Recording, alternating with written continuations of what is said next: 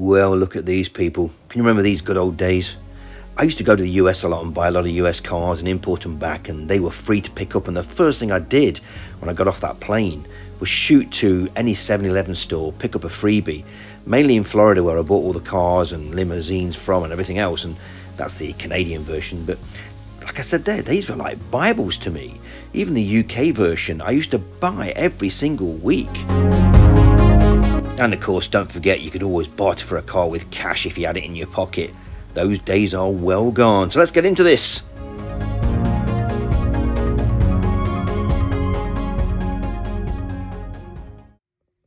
Well, welcome back people. Just came out to take this thing off charge. You see that's 100% now. Well, welcome back to the channel as I sit in the mighty Tesla. And I'm going to come back to this vehicle and I'm going to basically tell you my loss factor on this. And I don't mind telling anybody because I love this car to death, so I'm not really bothered about losing money on it. All things have like depreciated. And even this Tesla Model 3 here, which is now, let's get this right, around 16 month old, uh, 18 month old at the very, very most. But we'll come back to this lovely creature later. Depreciation. Wow, it's happening to us all. And I'm not just talking EVs here. I'm talking the whole of the motor trade, the whole caboose, the whole thing. I've been in and associated to the motor trade for many, many years. I did come out of it, went back in it. I bought and sold cars on the side and dodged and dealed. You know how you are when you're in your 20s, 30s and 40s. You want to make that dollar. So I went out to make it and I made a fair bit of money out of, out of used vehicles. Uh, never sold new ones, never, never was a, a, car salesman or did it all off my own back from my own front and back doors. I used to go across to the US and import vehicles as a, if you're a watcher and subscriber of this channel. I've had to stop it here because I mentioned subscribers. Thank you so much for all of you who have stayed with me over the last two years. I'm now recognised from YouTube as an official creator. And it's an all big thank you to you who have done it for me. All 1,000 of you plus. Please stay with me and welcome if you're new. You'd know that, I have mentioned it before. And so my knowledge of the American market is quite large, the same as his in the UK. But just let's get on to depreciation that you are feeling. It is all over the internet, including YouTube and the good old TikTokers have got hold of it saying, oh, you've lost 50,000 on your 100,000 pound car. And there's even a guy out there now who's got a Porsche Taycan um, electric and he's having a good old moan on YouTube. I'm not going to tell you it is because he's not really an EV fanatic. Uh, he's just got an EV and he's making this big thing about it, but I'm not going to go there. Hello, if you're watching that guy. So let me just make this point very clear from off the cuff here. Cars are a commodity. They are never an investment. Now, you're going to say, oh dear, what about classic cars? What about the old 50s and 60s stuff at certain times? But let's get on to the modern stuff. Let's get on to the brand new stuff first of all, because it all affects the used stuff. Okay, first of all, Mr. Musk. He, uh, he owes a massive apology to every Tesla owner who bought their vehicles two, three, four months before he knocked off £7,000 and the same in US dollars in the US. He did it because he knew by even by knocking off that money, he was still making damn good dollar on every one of these that he sold. Because He panicked the whole motor trade by dropping, which was and now still is, the best-selling car in the world, the Model Y price and the Model 3. It upset a lot of people, including myself, and I will come up with the figures about this later on. Let's get back to everybody else's new prices, and even now new prices are still falling. So again, used are depreciating. Now, as you can see here, all the big boys are taking a massive hit on their new prices dropping them all the time. And this is just a sample of what's happening in the USA. The same's happening here in the UK. Now, back strictly to the UK market, these are the top 10 uh, from number one being the Toyota Prius that have actually dropped in sales quotas by a long, long way. Look at those percentages there. All right, looking at a different list, here's your 1 to 10 on bestsellers for June 2023. July is just around the corner. I will probably put this out before July. So, but I'm gonna, like I've said there, I'm going to guess that July is going to be very similar. Ford Puma, one of the better selling cars in the UK. It's kind of like taking over where the Fiesta left off. Tesla Model Y, what a surprise there. Wow, top of the list, look, even beating the Puma. Now don't forget, that is a full electric car there, whereas the Corsa, the Qashqai, uh, let's think about this, the Mini, the Toyota Yaris, and I believe the Vauxhall Mokka can all be bought as either full electric or hybrids, whereas the Tesla Model Y is just strictly available as a full electric car. So done rather well there for Mr. Musk. So there you see it, there's the latest on the bestsellers. So to summarise, we know that used car prices are falling back. We also know that the EV price is starting to like level out. Hybrids are always going to be the worst performers. And of course, big news for June, a full electric car being the bestseller. Shocker, shocker there. And I believe it's going to be the same in July. Again, US side of the business, AutoNation, look at that loss or flatline. That ain't good, folks. And then you've got all these millions of cars sitting on the lots doing nothing. And I know that Dodge and Ram are suffering badly. Okay, before we can talk about the now and future, we have to talk about the past and why it's come about. The downward spiral that's happening now with auto prices came about because in the past we had a false pricing. Let's face it, everything went through the roof when the big old C came about. And I'm only going back say less than two years ago before it kind of like started to die down. Now COVID brought a lot of problems for everybody and that included prices for cars. No one was buying new so the used market went through the roof. And petrol being so expensive as it went to obviously had an influence on what you bought. So EVs were starting to do rather well because it was seen that petrol was going up. So the EV sales, although very expensive cars, uh, two years ago, especially if people were buying new, the odd time, they were buying EVs and not fossil fuel cars. So that's the past. Now, since then, things have moved on and we're looking good, thank goodness. We're back to normal. And so prices are getting normalised from these stupid false highs of used cars, especially some diesels. Diesels have fell flat on their arse now, they're finished basically. And anyone, any fool buying a diesel now either new or used, I feel that you're doing the wrong thing, but that's just me. So let's get back to now. Let's get back now to where we are. And there's about three or four points I'm going to point out of why I think this is happening.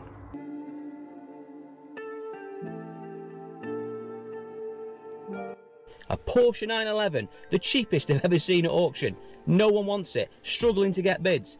Range Rovers, free in as many weeks.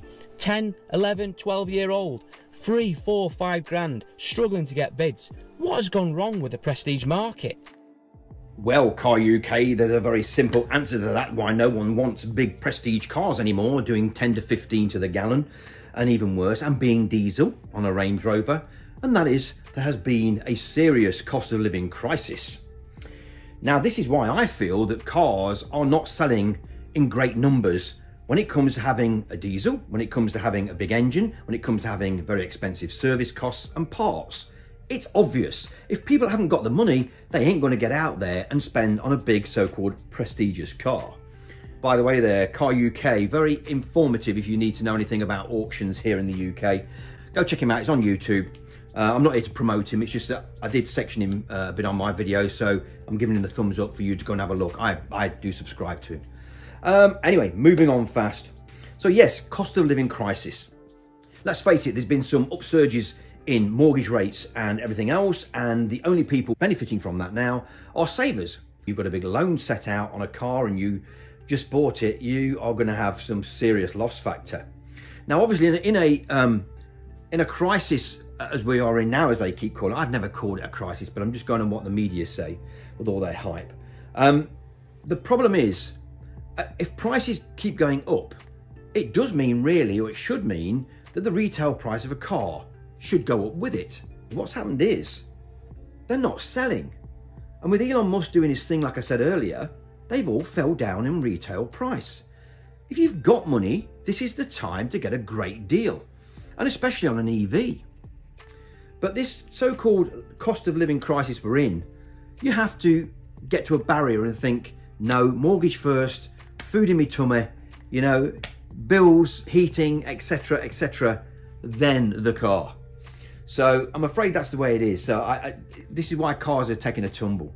And this is the point I'm making, uh, that it's just not EVs doing that. So what I plan to do this morning, I'm, we're going to have a drive out and you can come along and we're going to go up to uh, availablecar.com, which is a quite big dealer, about eight mile, nine mile from where I live. No other reason that it's the nearest. So we'll go up, have a ride out in the Tesla, see what we can see, see what prices are, how much they've lost since the new price on the sticker. And it's great that EV prices are coming down because of this cost of living crisis and because of Elon. We'll talk about that later. This post, you know, is all about the cost and the depreciation of cars in general, including EVs. Obviously, things are what they are in the auto trade at the moment. I wouldn't like to have this lot here owe me millions of pounds, although I'm pretty sure a lot of this is underwritten by somebody. Say no more. Excuse the glasses, by the way. Uh, you can't see my eyes, you can't see my soul, so they say. But uh, no, as you can see, it's it's huge. It goes on for a long, long, long way. 38 one new. What do you expect? It's an old Jag. 67 now, but they're still asking 24. That will stay on the lot a long time. Trust me.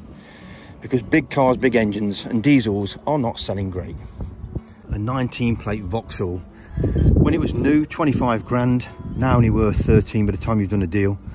So again, 50% loss in what, less than three and a half years, uh, under four years. So there is a loss factor to be had on every single used car and it's getting bigger and bigger. So don't think it's just electric because it's not, no doubt about it. So if you've got a car like that losing 50%, why would you not have an electric car from the 2020 plate losing the same? It's no big deal. I don't know what this thing about uh, this anti-EV thing is about its pricing. Yes, there is a bigger loss because they cost more when new. Let's remember that, folks. Here's another perfect example of depreciation and loss, especially with diesels. Diesels are not the thing to buy at the minute, folks. And brand new, it was uh, nearly 29k. Now it's only worth 16.7. And that's a 2020 plate. That's only just over three years old.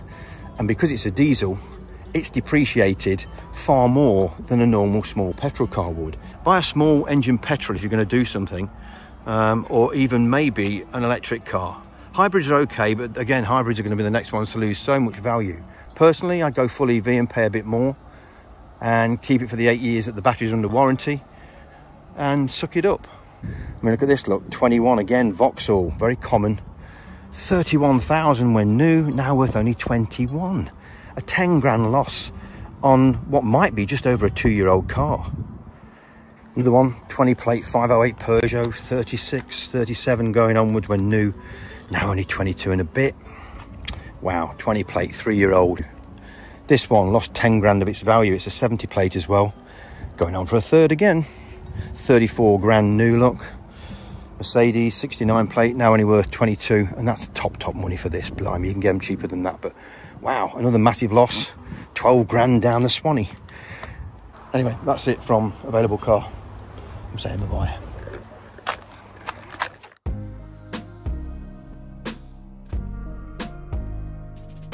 Okay, people, this brings me back to number two. Now, in that number one, it was quite obvious. I was just trying to make the point that we're all going through a, a financial situation, and that is why, obviously, all cars have dropped in value Anyway, I hope I made that point quite clear. This second one's a little different. This second one is, uh, I ought to call it EV evolution, if that makes sense. Try saying that when you've had a few beers. Now, what I mean by EV evolution, I can hardly say it myself. We've moved on in EV land. Fossil fuel cars have become very stagnant all of a sudden, ICE cars, whatever you want to call them. Whereas the electric car has gone forward. Now, this shows very, very easily in the pricing structure around EVs. And yes, I will gladly admit that over the last two years, EV prices have come down tremendously in comparison to fossil because fossil was is like a stagnant thing. The EV revolution I'm talking about started with very high prices, and but is slowly coming down to the fact that eventually a new EV will be cheaper than a new ICE car. When that happens, ICE cars are doomed and finished. Trust me on that one.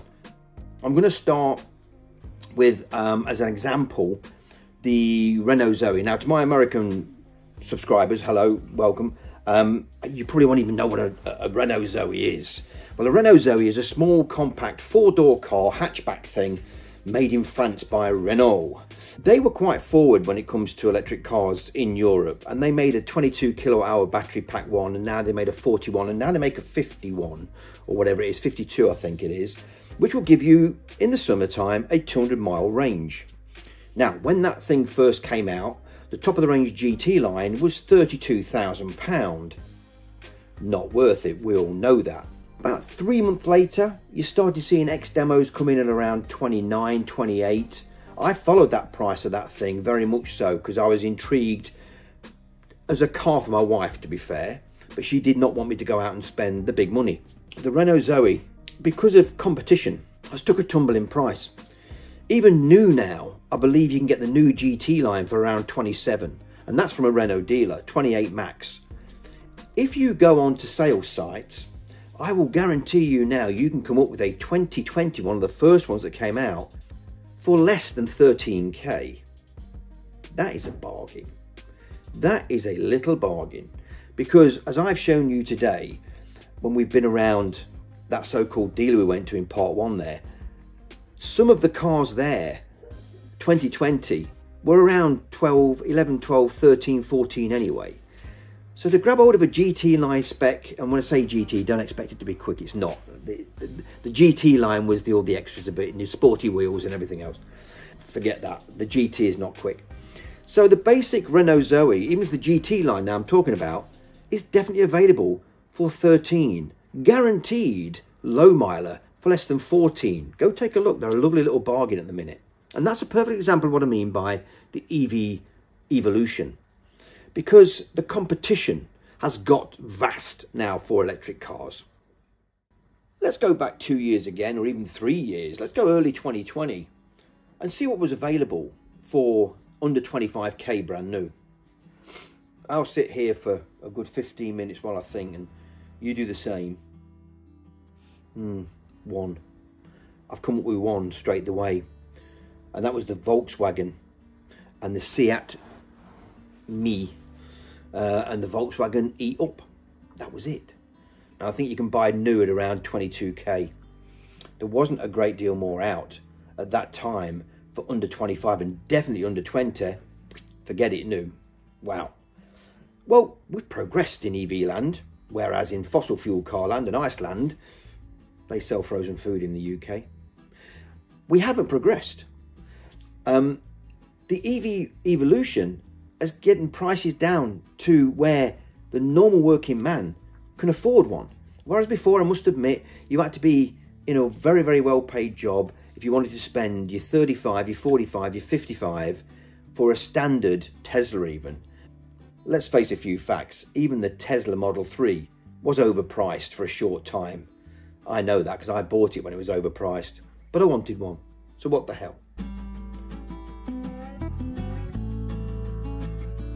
Okay, before I wrap this up, I did promise I would tell you about my Tesla Model 3. And this is all because it's part of the EV evolution, if you want to call it back. I'll go back to that one about pricing. I wanted one of two colours. I wanted the black or I wanted the burgundy red. I'd have preferred the burgundy red, but hey, it's another story. I also wanted the 19 inch sport alloy wheels so with the two options on top, it made it out that you paid a bit more. Anyway, when I wanted this Model 3, it was at the time when there was a 10 month wait if you ordered one new.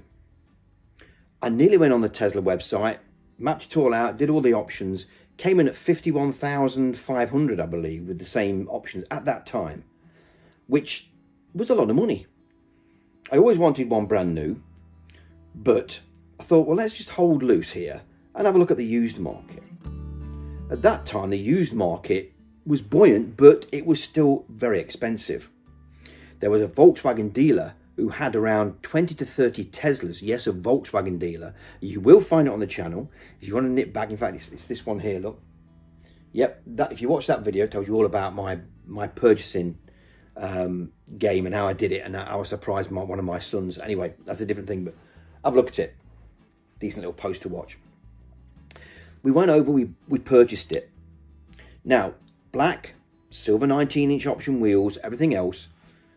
I paid a retail of 47k for that vehicle. It was three months old with only 3,000 miles on the clock. So virtually brand new. You couldn't tell it wasn't brand new, apart from the odd scratch. In with that price, I did have it fully detailed at their body shop before uh, I picked it up. After Actually, it was after I picked it up. I took it back and had it detailed.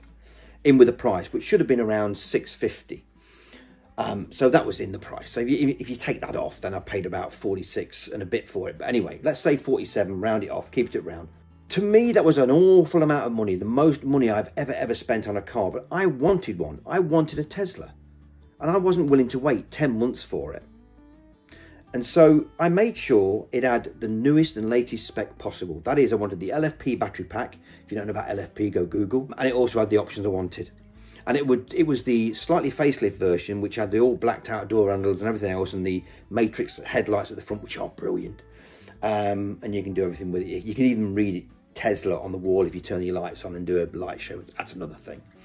So it was optioned up to the hilt and it was the latest battery pack possible from Tesla.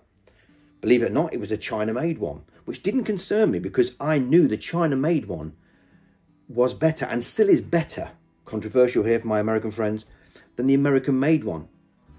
So I wanted it, I bought it, I treated myself, it was out of my, part of my pension, part of what I've worked for all my life hard savings and everything else. So working class boy here who has ended up with this. So I treated myself. Why not indeed? So I got it. Ran it for three months. What happened? Mr. Musk all of a sudden decided to take a whopping £7,000 off the retail price of that same vehicle. At that time, it was 51 if you optioned it up. So instantly overnight, my 47k car became a 40k car because of the loss of the used marketplace over retail. That pissed me off, and I'm going to be very honest, but I was no different to any other person who ordered a Tesla at that time. Four months later, after that, after breathing heavily and having three heart attacks, no, after breathing heavily and taking it all in, I thought, well, what is what is? I didn't buy this Tesla Model 3 to make money. To me, it is a commodity. That I wanted one. I'm using it on a daily basis. I love it to death. Probably one of the best cars I've ever owned in my life. And it's still saving me a tiny bit of money on fuel. So it's doing its job perfectly. And I'm very happy to be an owner of a Tesla. So that same vehicle now, believe it or not, to buy with the options is 42 and a half. Okay because he's bought it down a tiny bit more. Take the options off and you can get it for just under 40 grand, I think, about 39 and a bit, 39, 39 500. That's without the 19 inch wheels and without the black paint, simply. So you've got to, you've just got to look at things and put a smile on your face. I, you know, Mr. Tesla, Mr. Musk is going to give no rebates back for the people who bought at three month old or just bought new. Imagine buying new at 51 and a half, going 52 and then finding out he's knocked seven grand off the day after when you've already took delivery. Ooh, that must have been nasty, nasty. But I'm glad he did it in the long term because it's made the EV marketplace very, very less for the rich. Um, you don't have to be rich to have an EV, but a lot of people think that. I'm not rich. I'm a working class lad who's saved and worked hard all my life for that vehicle. And I'm retired now, so why shouldn't I have it? But I'm not rich. I'm not even now. I'm, I'm even, I'm even like more poor now because I've just gone out and spent that money. Anyway, I've had that vehicle nearly 18 months now and I will be doing a review at 18 months. I did one at 12 months, which is here. You can watch that as well. And I'm longing this out a bit, but you can watch that. That's the 12 month LFP battery, Model 3, 2022 spec. That's that one there. So it hit me as much as anyone else, but I'm glad it happened because it's helped the whole EV marketplace at what Mr. Musk has actually done. So that's the story behind mine.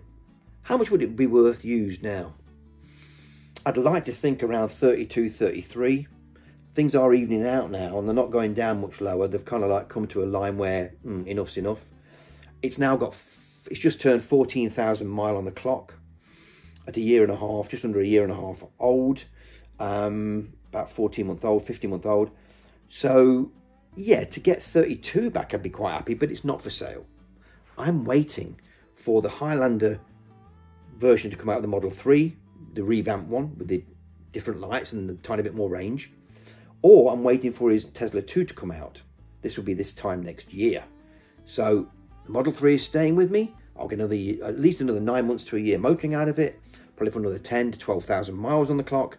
Sell it at around 25k on the miles and hopefully get as much as I can for it. So that's my story about my Model 3 on the loss I made on that. So these people who say, oh, you've lost, you know, half the price of your... No, I'm not. Nowhere near half price of my Model 3. So it's bull what some YouTubers and TikTokers are saying. Take no notice. They're not owners, they're not even EVers, they know nothing about EVs. They just take a glamorized story and try and glamorize it with fireworks even more. So don't even go there. So I'm glad I'm cleared that one up and I told you I was going to do it. Cheaper cars in the EV evolution have transpired to be good news. There is the MG4 now, which is not everyone's cup of tea, but it's about the same size as a Ford Focus. Decent looking, a bit sparse on the inside, but it's a 200 mile near enough range vehicle, even the, the standard model. It's decent looking, it does what it says on the can, and it's all yours for 24.5 to 25k brand new with warranty. That was never heard of two years ago to get that kind of caliber of car. Yes, it's made in China, but don't be put off by that because be ready for the Chinese revolution as well as the EV evolution. Wow, I'm getting things really mixed up tonight. Anyway, watch out for China, that's all I'm saying. That they are even going to make the market bound to even cheaper cars, all new. And you, it'll be very common to get uh, a decent family EV sub 22, 23k this time next year and the year after. Watch this space. So, point being made here, if you're getting new EVs at 24, 25k, then your used vehicles below that sector are going to go down in price. It's obvious, that's what happens in any marketplace. So it's made the used market for EVs very, very good. And if I tell you something now, you, you probably wouldn't believe it. In California, if you use the federal grant that you get for buying an electric car, and then the state grant that you get for buying an electric car, and you buy the base model, standard model, Model 3 in the white colour, you could probably walk away from Tesla with that brand new 15k, $15,000 that I've actually worked out if I'm doing the maths right. And I know you can definitely do it for $18,000 because I've seen it in a, in a couple of press pointers within the media of the auto industry at the moment. So with that kind of thing, it's bound to make EVs a far, far better deal than any ICE car. And the ICE drivers are now turning around and saying, well, this is not fair, this shouldn't be happening. And without those rebates, you know, the electric vehicles wouldn't sell. Well, sorry, but here in the UK and in Europe, we don't have any rebates. Yet electric cars are still selling very, very well.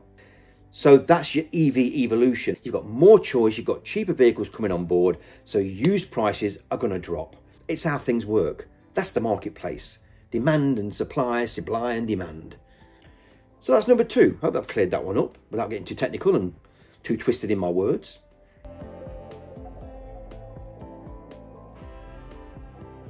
Okay, this now brings me to point three. Um, I'm going to call this fuel pricing. It's as simple as that because this is what it all boils down to. When I first had my very first EV nearly five years ago now, it was a Nissan Leaf. And I, I know that a lot of you know that because I've ranted about this vehicle many times before on the channel. It was the old style Nissan Leaf, you know, the and it was the smallest battery one you could get. And uh, I bought it for the wife originally. I had a 2015 GT Mustang here in England at the same time. Um, and an SS Camaro, I believe. I think I just swapped the SS Camaro V8 2012 for the GT Mustang. I've had that many muscle cars and V8s, I can't remember. Anyway, I bought her this Nissan Leaf nearly five years ago. She fell in love with it, she loved it. And when we were charging that up, we were only paying around 17 pence a kilowatt. And at night time, it was only nine pence. Oh, the good old days. Wow. We had a dual fuel thing going on. Anyway, Time will tell, and time has told, that prices have gone up for electricity. This is a fault of many, many things, and I'm going back, let's go back two years ago when the price hikes started to come in. And I started panicking when I was paying, uh, what did it go up to? 28 pence a kilowatt. Now, even at 28 pence a kilowatt, do the maths then what, and, and comparison to what petrol was and diesel.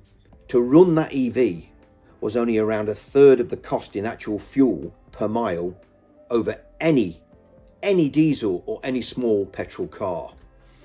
So I was saving two thirds. So for every pound you were spending, or an ICE person was spending on petrol and diesel, I was spending roughly around 30p. If you work that out, it was super cheap.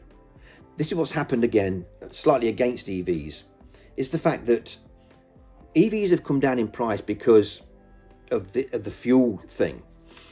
At the moment, petrol is, is stabilising at around 145, 150 on average in the UK per litre. Sorry, USA people, that's per litre. Our electricity has gone up now to an average of around 34p. Where I'm living now, I'm paying a lot more than that, and it's a, a grievance. So I think this is this is number three for me, and that is that the, the EVs have come down in price because there's not that massive saving anymore on fuel. It's about comparable, or should I say, it's slightly better still. If you've got a great rate at home, it's going back that way, and electricity is only going to come down in price. Fuel for ICE cars can only go one way, and that's back up. And as soon as that comparable, comparable on price hits, which I've just mentioned, and the fuel goes up for ICE cars and stays the same for EVs or even goes lower, which I believe it will do soon, that's even going to make a bigger difference. So the choice and the cheaper fuel back for EVs will make it even better to buy one. So that's part of this. If you can get what I'm saying here, that's that's my number three, and I think that's it has affected EV sales slightly um, on the used market because anyone who's out there for a cheap EV wants it to run it and to save fuel as well. But yeah, this comparability thing is stopping people buying EVs, and I do believe that if it was the other way around, more EV sales would happen. It would be a more bubbled market. You'd get more options. More people would buy new. That means your used market's going to grow, which would make prices even cheaper for EVs. So all you ICE people out there having to go on YouTube and, and TikTok saying you're losing all this money, and uh, it's great for EVs to come down in price because it gives people more choice to be able to go out and buy one. So your comments are going against your own thoughts of running an ICE car because the more people with EVs, the less people there are with ICE cars. Everything, all vehicles, be it vans, motorhomes, even caravans, anything associated with the motor trade will lose value, will lose its money. It is a commodity that you buy, you use, you throw away. Anyway, I hope you enjoyed this. I've um, I've ranted on enough as I normally do. Um, any comments put below if you agree with me or not. I'd love to hear. I like a bit of a debate. I don't like an argument, but I like a bit of a debate on my comments below. If you've not subscribed, where you've been, you should be by now. Love all you new subscribers. It's booming. Thank you so much for being involved. Oh, just a quick one. If you've not seen our playlist yet for our trip to the USA that we did in April, along Route 66 and up to the Grand Canyon and into California and everything else, it's on the channel. Go please take a look. And then there's two about Tombstone and Boot Hill. And if you've seen the film Tombstone with Val Kilmer and everything else and Kurt Russell, you'll love them two posts. Go check them out. Anyway, I've said enough. I'm going. I'm going to get myself a beer and chill out for the rest of the evening. Keep safe, people. Keep watching the channel. Look out for the next post.